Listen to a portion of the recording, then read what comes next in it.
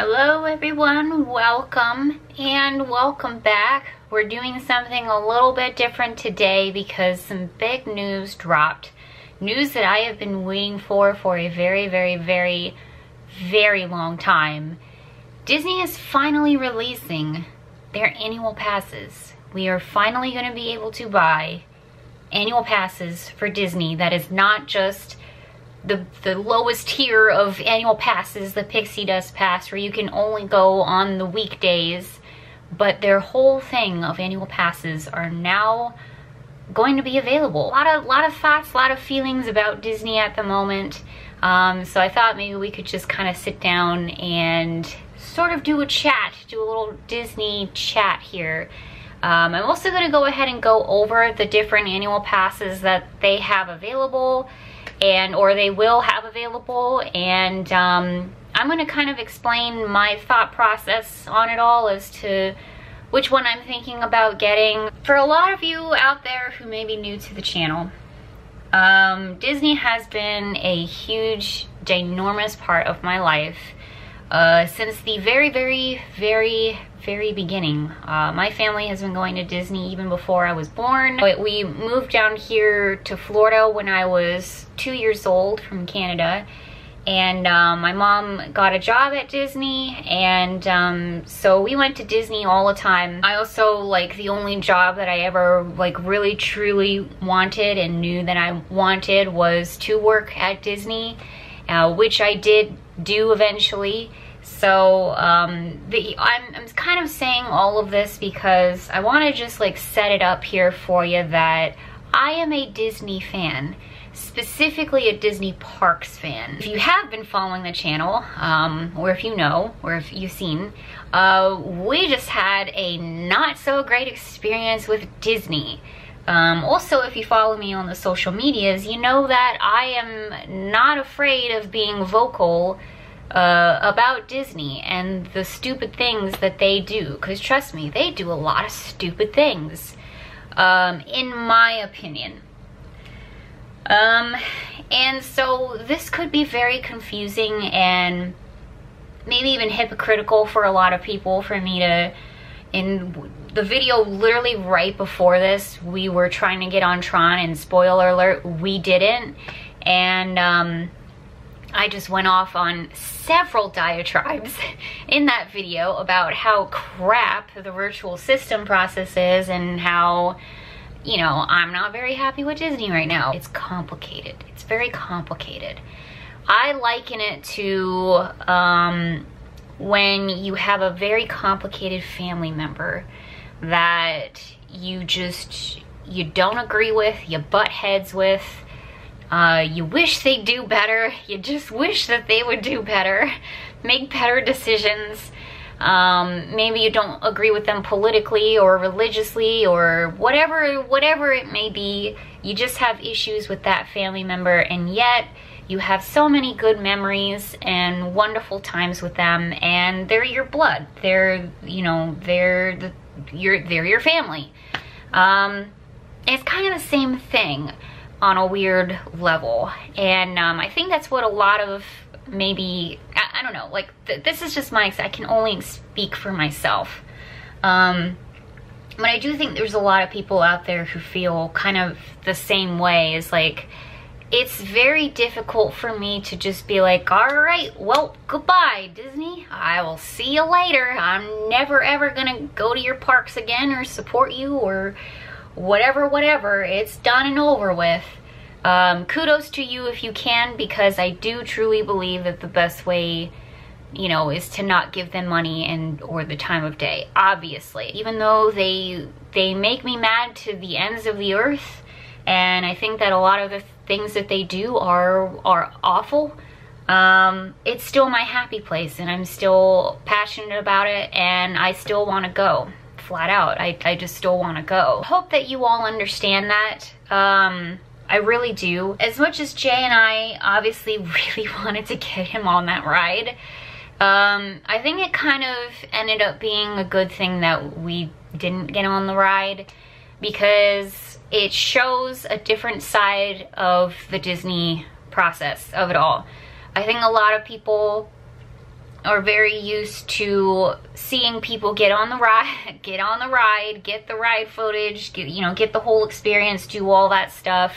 We very rarely see on the YouTubes and TikToks and social media when people fail. Um, and I think that that's a shame. I think that we need to show the actual real side of Disney, what a realistic Disney vacation and experience actually looks like, including the fails. I don't ever want to be the person that's like, my entire life is absolutely perfect Nothing wrong ever happens to me. Every single trip to a theme park is the best day of my life. This is the best food I've ever eaten. This is the best weather in the world, etc., etc., etc. Because that's not the truth. That's not what vacations actually are. That's not, that's just not what it is. And I'm not interested in selling you something that isn't real. Um, I'm interested in showing you things as realistically as possible. We always keep it positive on the channel um, and light and fun, but there are things that I still want to show you and present to you um, that is real. So if I can do that and, um, you know, if I can go to Disney and I can show you every aspect of Disney, the good, the bad, and the ugly, I think that might actually be more beneficial than me just flat out saying, I've, I washed my hands of it and I'm walking it away and I'm just never ever going to show Disney on my channel. Um, I think that there's a bunch of different schools of thought on this, on the best way to sort of tackle this thing, but I've kind of come to terms with, I think that's the best way for me to accurately, uh, to do something about it, quote unquote. Do I really think that I'm gonna inspire any change around Disney? Not really. I don't really think Disney gives a crap. But let's face it, Disney is a huge darn company and they're making a lot of money whether or not I am contributing to that or not. If I don't, guess what? There's hundreds of thousands of millions of people willing to take my place and give them that money. Um, it's not the right mindset to have. The right mindset to have is I'm the one that can inspire change. I'm the one that can make it happen. You know, but we all kind of have to collectively get to that point. You know what I mean? I hope that this all makes sense. Um, I just think from where we are right now, like, I think the best thing that I could do is to continue to show the most realistic uh, expectations of Disney and showing different, maybe different con uh, content than other people show. Um, and hopefully that will, I don't know, help people decide what vacations they want to take, how they want to spend their money. Um, I think that that, I think that that's best, at least for the time being. Um, so yeah, again, I, I really hope that that makes sense. Um, obviously, yes, there is the selfish part of me that's like, I just want to go to Disney and be in my happy place. Um, even though that's like really been declining a lot. Um, but really and truly, like, as far as the content that I want to provide on this channel, I always want to make sure that it's real and um, and then I can help people. And if this is just another way that I can help people and I can help people more this way than just not talking about it at all, then I, I, I don't know. I think that that's the best thing that I could do. Anyway, let's go ahead and dive into the annual passes now that are gonna be available. There are four, and I have my laptop pulled up here so I can look at this and explain it to you. Um, so there are four different annual passes that they are going to make available. There is the Disney Pixie Dust Pass, which is the one that has, that is currently available now and has been available. Basically can only go during the week. The weekends, Saturday and Sunday, are generally not available. Um, and it also has blockout dates during peak seasons and holidays and all of that good stuff. Also can only make up to three Disney reservations at one time. Get the standard theme park parking and then the discounts and all of that good stuff as well. Pixie Dust Pass is also specifically for Florida residents only. Um, the price of it is $399 plus tax, or you can do a monthly payment program. Um, so it's $19 per month with a 12 monthly with 12 monthly payments and 0% APR after $205 down payment with the Florida resident monthly payment program. Again, this is like the most basic pass. This is the one that's been available for like forever now. And um, to be honest, I was this close to purchasing it like seriously like today or tomorrow. Like I was like right there on purchasing it um, because I, like I said, like I, I kind of, well, I don't think I really said this yet, but kind of want to make more Disney content. Thankfully, I don't, I don't have to do that anymore, hopefully. So anyway, that's the Disney Pixie Dust Pass. The next tier up is the Disney Pirate Pass. So this one is in total $749 or $50 per month with a 12 monthly with 12 monthly payments and 0% APR after two, after a $205 down payment with the monthly payment program. Again, this is just for Florida residents. Still get the blockout dates, including mostly during peak seasons and holiday seasons, which by the way, we'll talk about the blockout dates in a second here. I'm just kind of doing a general overview of this stuff. Um, with the Pirate Pass, you get to make and hold up to four theme park reservations at a time. Um, you get the parking, there's the discounts, and by the way, all of the discounts are, it looks like it's the same across the board generally. Uh, so up to 20% off select dining and merchandise, which definitely does come in handy. You don't get the, this is just from experience with being with Jay, who does have an annual pass. Um, you don't, it, it doesn't apply for absolutely everything across the board, uh, but it applies for a lot of things and it, trust me, like every little bit that you can save helps a ton. The next pass up is the Disney Sorcerer Pass and that one is $969. All of this is plus tax by the way and it's for the year.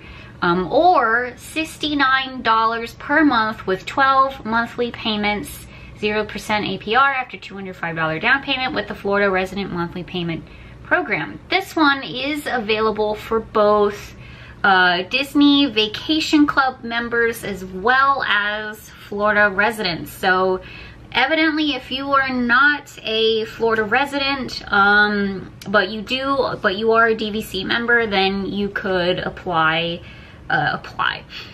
You could buy this annual pass, which I think is pretty cool. Again, you get the, you know, the blockout dates, um, this one you can hold up to five theme park reservations at one time.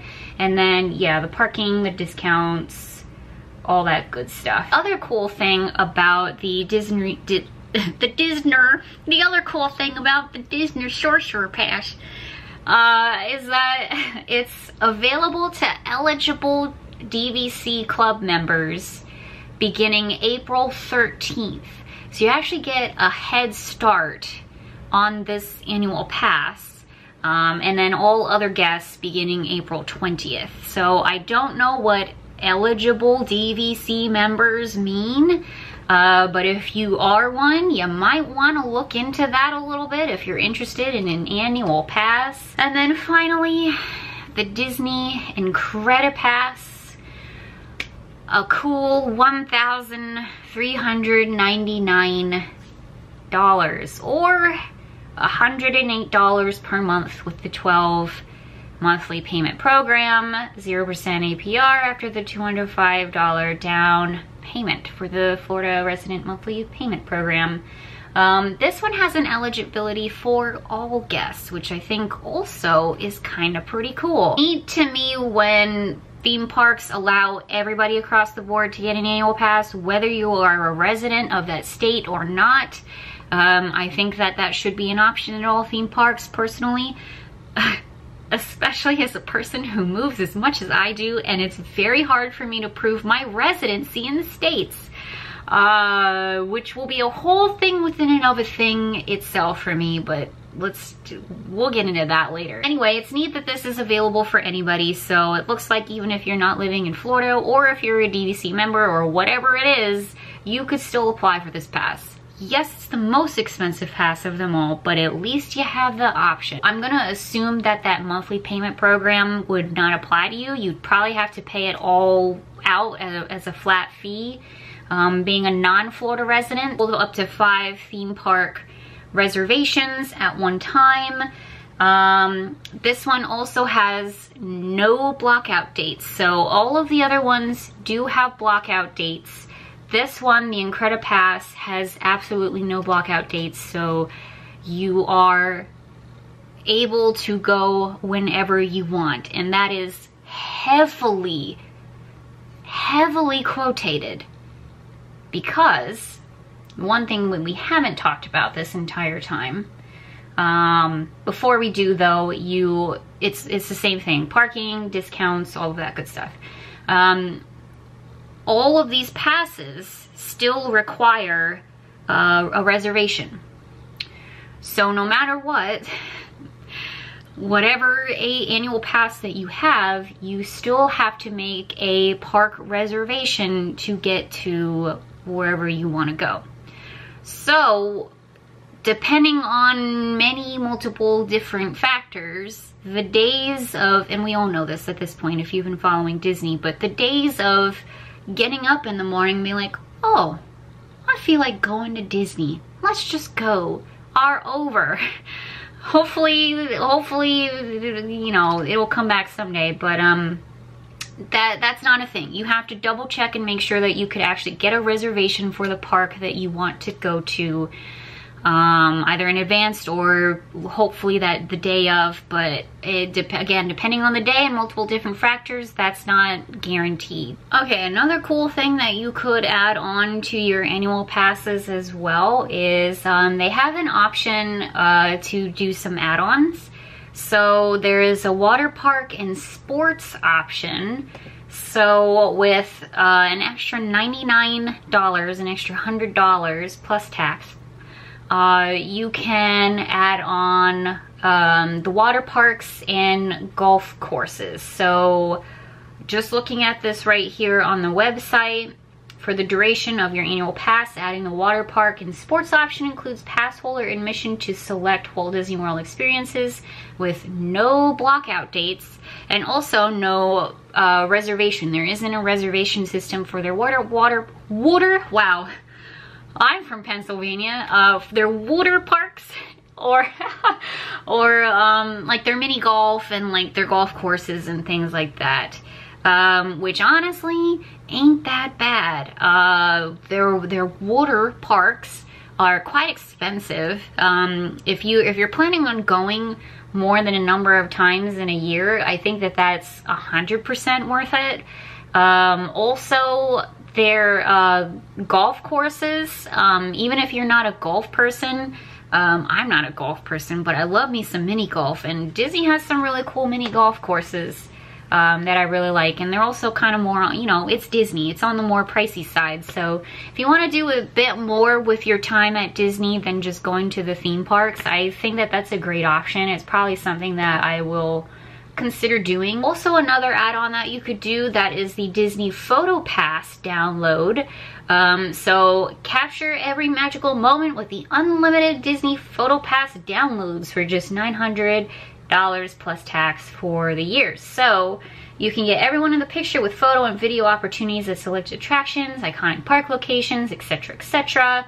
Um, so you basically just get unlimited um, Disney Photo Pass. Yeah, that's that's what it is. Um, this is something personally I will probably forego, forego because I'm not a huge, this is all personal preference. This is all personal preference right here. Um, I personally am not a huge fan of the photo pass. I like taking my own photos.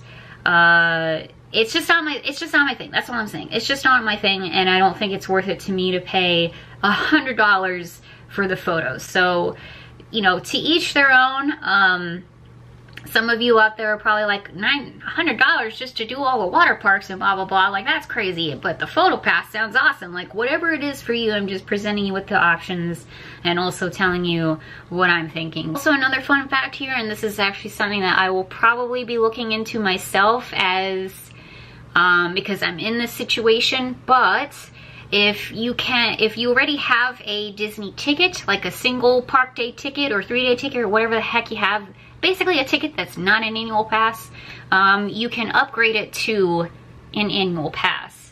And welcome to my desk, everybody. So we're gonna take a look at the blockout dates next. Um, let's go ahead and just go to the Pirate Pass. So this is the second tier one. Go ahead and press on all parks just to kind of get an idea. Um, so the dates with the little X through them are going to be the blockout dates. So with the Pirate Pass, it looks like we have um, a weekend in, late in May. I'm sure that's a holiday. Um, a few days early in July. That's for the 4th of July. Uh, up here in September, probably for Labor Day. A few days in October a number of days, just about a week here in November, probably for Thanksgiving, and then a number of days, a number of weeks actually, um, just about three weeks almost, the end of December and the beginning of January, and then a few more days in January uh, that you will be blocked out. Um, and then a number of weeks in March here in the beginning of April. That's probably for spring break. Uh, so hopefully that kind of gives you an idea. Again, this is the Pirate Pass. Um, this is the second tier one. Basically, your major holidays, your three-day weekends, and um, that's about it. And now the Sorcerer Pass, which is the third tier one, you can see or hopefully you can see, um, there's not a whole lot of blockout days. All of May is available, all of June, all of July, all of August, all of September, all of October, most of November except for uh, a few days surrounding Thanksgiving and then the same three week period at the end of December and beginning of January for Christmas and New Year's. And then all of, and then the whole rest of January, the rest of February, the rest of March, and the rest of April. So there's not a lot of blockout dates for the Sorcerer Pass. And then the Incredipass has absolutely no blockout dates whatsoever. Um, let's just go to the pixie dust past here. Pass. I always say past. I don't know why. Pass. Um, again, this one is only for the weekdays. So Saturdays and Sundays are out. And it does look like there's a few days even during the week where it, they don't want you to go like the 29th here of May the uh, 4th of September here, that Monday. So a couple of three-day weekends and holidays. Like there's a bunch of holidays here that are blocked out as well. Um, so a lot, this obviously has the most days that you will not be able to go. All of this information is obviously available on the Disney website. I'll just put a link down below for you if you want to click on it and take a look at it for yourself. Obviously, that's what you should do if you're really thinking about uh, buying an annual pass. Um, so yeah, but um, as far as as far as the blockout dates go, first of all, I'm actually quite impressed, quite impressed. At least um, based off of my personal experiences with having an annual pass, which again was like a really, really, really long time ago. So this doesn't really mean anything. It's just, this is just what I think personally. Um, I'm used to like all of June, all of July, all of September, all of December, like all of these major times, like the busiest times of Disney being totally blocked out. Um, so the fact that you could actually, th there's really just like a handful of days for all of these passes except for the Pixie Dust Pass um, that you can't go is actually quite impressive to me. Um, both the Pirate and the Sorcerer Pass seem pretty comparable in terms of uh, blockout dates to me. Um, it seems kind of negligible, the difference um, in terms of just the blockout dates. So uh, that's something to consider. I think that's the, the biggest thing for me, I guess, are the blockout dates, or at least it's a big, big factor. I'm sure it is for a lot of you as well. Um, just some thoughts, again, on the whole thing, on the whole topic.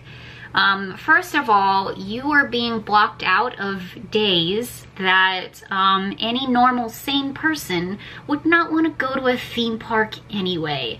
Uh, they are blocked out for a reason, and the reason is because everyone and their uncle is at the park that day. Um, it's incredibly busy. It's Florida, so it's probably hot. And I, to me, when I was a layman and just going to the parks to have fun, those are the last days that I want to go. This, the blockout dates are really just in theory. Like this is heavily uh, quote quotated because um, there it's still a reservation system. It's still all based on a reservation system. So even if you wanted to go and you don't have a blockout date, that does not necessarily guarantee that you are getting into that park that day. Case in point, Tron.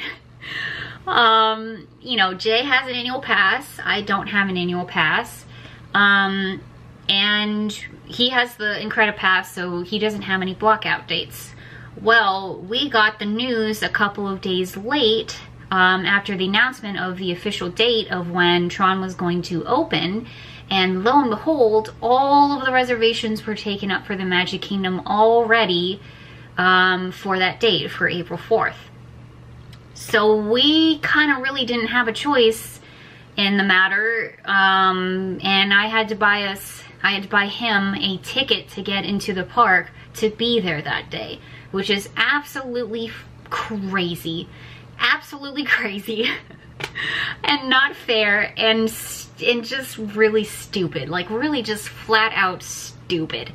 Um but that's what we that's what we had to do because that's you know that was important to Jay to be there on the opening day and I wanted to make that happen for him so I bought him a ticket on top of his annual pass. I, to me, I think it might make sense to not buy the highest tier pass, the Incredipass, with no blockout dates because as far as I'm concerned, every day is a question. Every day is a question. And um, I might as well spend less money in the long run on a pass with some blockout dates on, once again, days that I don't want to be in the park. Um, and then if something happens to come up that I really want to be there for and it's blocked out, um, I, and if it's really something like I gotta be there for, which at this point in time, there's absolutely not a single darn thing that that will be. Um, again, this is all me, all my opinion. Um, there's nothing that I'm excited about opening up except for uh, Tiana's new ride. Um, and yeah, like that's it. I don't really care about anything else. So if that happens to happen, I will just suck it up and buy a ticket and go on that day. But I really don't think that that's going to happen. And even if it does, that's going to be less money in the long run than me shelling out a lot more money every single month to go whenever I want to, when I don't want to go on those, not on those dates anyway. So hopefully that all makes sense. I, I want to give you all some options. I want to give you some thinking outside of the box things that you can do so you don't have to shell out all of this money just to not even really be guaranteed to go into the park anyway. That's what I'm thinking with all of this. For me, it's probably going to be between the Sorcerer Pass and the Pirate Pass. I'm not sure which one I'm going to do yet. I'm to think about it a bit more. We've proven in our time, and I've seen Jay struggle with this a lot. Uh, struggle with getting reservations on the days that he really wants to go to things. Um, so I don't see I don't see the reason to spend extra money when it's not it's not guaranteed that I'm going to get inside of that park. There's also a really handy um, comparison page here as well with all four of the different passes that they have the prices for them both yearly as well as monthly if you're a Florida resident um, and it kind of yeah just gives you sort of a, a, a really, really, really basic overview of how they all differ. Big theme park news today, Tampa Bay annual passes will become available once again. And congratulations to those, including yourself, yeah, who can finally now again purchase an annual pass. Yeah. Uh, I got to experience this uh, the whole thing because I I retained my pass. I yeah. I remember when they took them away, and even some of my friends that were annual pass holders uh, let them go, and they said, you know what, a couple months, everything will be back to normal.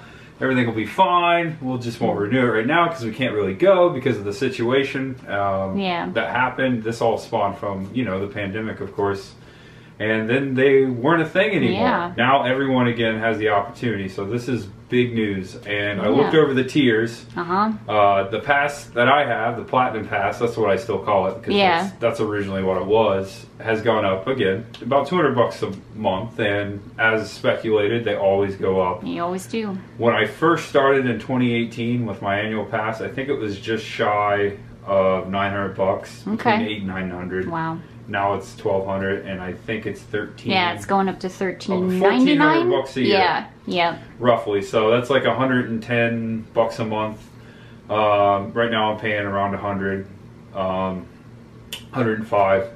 So this is big news for those who really just wanted an annual pass with the blockout dates, whatnot. And this is great. I'm glad they're stepping in the right direction and things are slowly coming back. Yeah. Everything has gone up in general. Um, to be fair, just Yeah. society Not just Disney, but like everything. Yeah. So I get it, but I hope we get back some of what we originally lost. Um, we we don't have fast pass anymore. uh-huh. Um, we still have to make reservations. Yep. Uh, I can't park hop uh, until two, and I really miss those. And originally, you know, that was the whole reason why a lot of us, you know, Floridians, Florida pass holders, just really love that pass. Okay, and I think that is pretty much everything that I had to cover. Again, I would really encourage you if you're thinking about getting an annual pass to go online, take a look at it for yourself, and uh, just really kind of think about what you want to do. They will be available April the 20th, 2023. Um, although, again, if you're thinking about doing the lower tier, the Pixie Dust Pass, you uh, that's available now. That's been available, so you could purchase that now if you want to. Really excited about this. Really, really, really, really excited about this. I was already like right on that verge of buying the uh, the Pixie Dust Pass myself. Um, I want there's so much content that I want to do at Disney. A lot of content that I want to do at Disney. I'm not going to be a Disney blogger. I'm not saying that. I'm just saying there's a lot of stuff that I want to do there. I have a lot of different ideas of things that I want to show you all and talk to you all about. Um, so I was already going to get an annual pass and then this news came up today and it's like, oh, well, okay, great. I hope that this helped. I hope that this clears things up. Um, not just with the annual passes, but just with the channel and kind of my stance on Disney in general. Um, again, I hope that this doesn't necessarily come off as hypocritical. I can definitely see how it does. Um, but I think that, you know, we don't, for a lot of things, we don't live in a black and white world. It's not all good and it's not all bad. And um, Disney for me is very much that. It's something that I struggle with like on the daily, you know, this this thing that I've grown up with my entire life and that I love is also something that I can't stand anymore. Like I hate it. Um, so I'm just hoping to channel all of those feelings into the content that I that I'm gonna present to you all and um, hopefully provide a voice for a lot of us out there who are feeling very, very, very frustrated with Disney and are not getting their voices heard on things, you know, and, and to be able to show of a realistic view of what going to Disney is, is really like and um, how to navigate all of that and, and all of that good stuff. So anyway, I'm sure this video is long enough. Appreciate you all watching. Thank you so much for tuning in and we'll see you all very soon. Also, any thoughts, feelings, comments, whatever. I mean, this goes for any video, but especially for this one, I'd love to hear what you all are thinking about it all. Are you excited about the annual passes becoming available? Um, if you're thinking about getting one, which one are you thinking about getting? Um, I don't know. I, I would love to hear from you. Any and all feedback, please leave it down in the comments below. And um, yeah, okay. Bye, everybody. Thanks for watching. See you soon. Bye-bye.